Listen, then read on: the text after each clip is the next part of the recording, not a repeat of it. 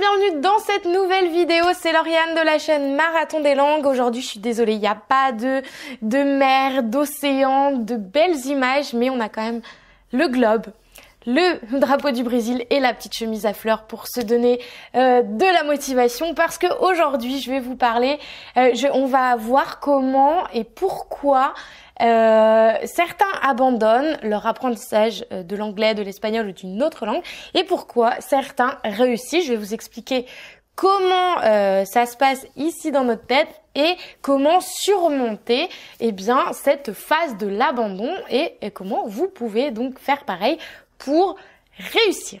Jingle.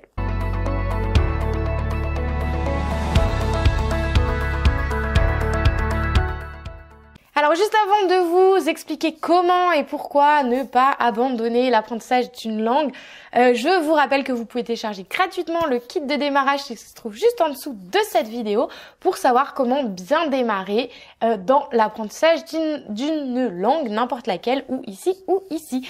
Euh, donc aujourd'hui, je vais vous parler en fait d'un schéma. Euh, juste avant de vous parler de ce schéma-là, bien sûr, je voulais vous dire, je vais vous faire une vidéo euh, récap de mon voyage en Inde. Vous savez, je suis partie en Inde dans une retraite yoga méditative. Je vous laisse voir les vidéos précédentes. Et je voulais savoir parce que je sais que vous êtes beaucoup à me à me demander cette vidéo et j'aimerais répondre donc à toutes vos questions. Donc si vous en avez sur ce voyage, n'hésitez pas à les mettre en commentaire juste en dessous, comme ça je pourrais vous faire cette vidéo récap euh, de mon séjour en Inde. Revenons au sujet d'aujourd'hui, à savoir le, euh, le pourquoi du comment euh, certains abandonnent l'apprentissage d'une langue. Et aujourd'hui, je vais m'appuyer sur les travaux en fait de Don Kelly et et euh, Gary euh, Garner, euh, en fait, c'est des travaux qu'ils ont menés en 1970.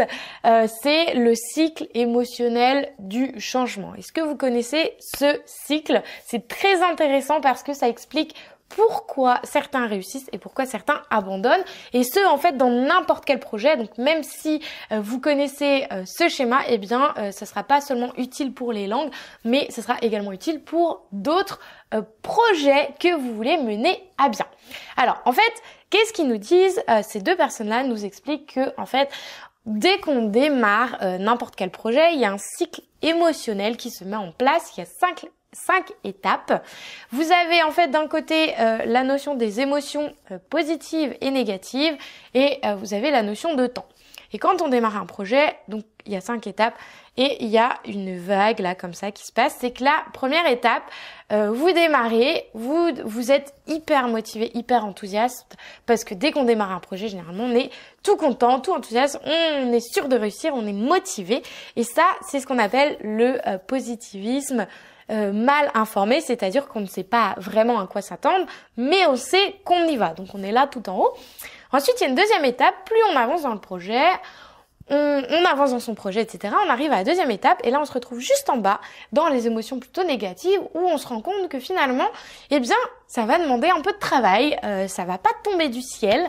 Euh, il va falloir euh, travailler un peu chaque jour et euh, et se, se, surmonter certaines étapes de la peur. Et là, en fait, c'est là l'étape cruciale, c'est qu'il y a certaines personnes qui vont abandonner, hop, ils vont sortir du, du schéma, et d'autres vont continuer. Alors, et le truc, c'est que ces personnes qui vont abandonner ici vont euh, remonter à la première étape parce qu'elles vont décider d'aller choisir un autre projet, se retrouver dans, dans l'émotion euh, positive et se dire allez on recommence un nouveau projet, ils sont contents et bim ils recommencent et ils font ce cercle non-stop, euh, des fois plusieurs mois, plusieurs années malheureusement et vont chercher de nouveaux, de nouvelles méthodes, de nouveaux projets, euh, de nouvelles façons d'apprendre, de nouvelles euh, pilules magiques pour réussir. Et vous avez les autres personnes qui, elles, vont continuer, ne pas abandonner. Elles vont passer euh, à la troisième étape qui est toujours dans le bas, dans les émotions négatives, où elles se posent plein de questions. Est-ce que je suis capable de réussir? Mais comment je vais faire? Etc.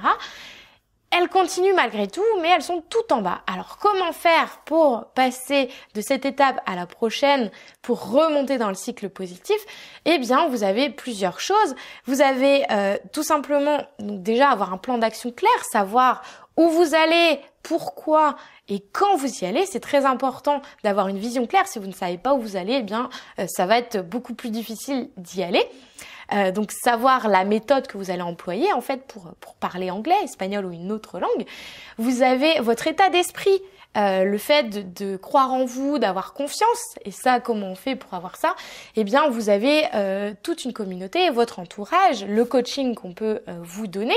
si vous avez des gens négatifs autour de vous, eh bien, évidemment, vous allez par mimétisme être dans cet état d'esprit négatif et avoir du mal à en sortir. Ou alors vous avez des gens qui vont vous pousser, vous motiver, c'est comme votre partenaire de sport, vous savez quand vous allez à la salle de sport à deux, eh bien il y en a toujours un qui est plus ou moins motivé et donc c'est plus facile d'y aller. Là c'est la même chose. Et ça, une fois que vous avez ces euh, notions-là, eh bien ça va vous permettre de ressortir de ce cycle négatif et aller à la quatrième étape, remonter dans les émotions positives et là reprendre confiance en votre projet et continuer jusqu'à la cinquième étape qui est la réussite de votre projet.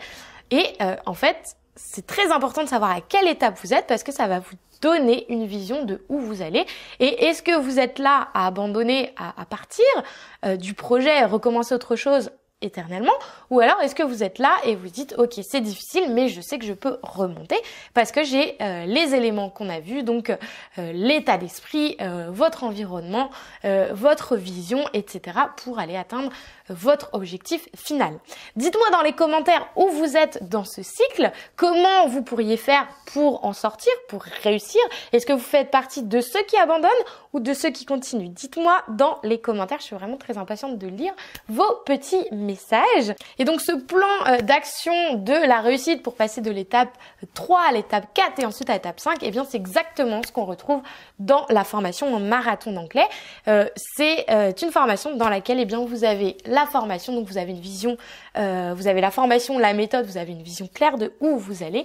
Vous avez l'environnement, donc tous les élèves de la formation ainsi que moi-même qui sommes dans la formation avec le suivi hebdomadaire, les coachings euh, mensuels pour vous aider justement à sortir de ce cycle négatif. Et donc ça vous permet de ne pas abandonner trop vite et de vous euh, sentir euh, encouragé et poussé vers votre objectif dans les moments de bas. Parce que oui, évidemment, il y a du travail, il faut bosser pour arriver à son objectif, mais en ayant l'environnement qui va bien, eh bien, c'est beaucoup plus facile. Pour savoir si, si vous pensez que ce programme de formation pourrait s'adapter à vous, eh bien envoyez-moi un mail euh, pour m'expliquer la nature de votre projet et ensuite nous aurons donc un entretien ensemble euh, pour savoir si je peux vraiment vous aider dans votre projet et si nous sommes faits pour travailler ensemble parce que désormais le programme est accessible sur candidature et n'est plus en accès libre.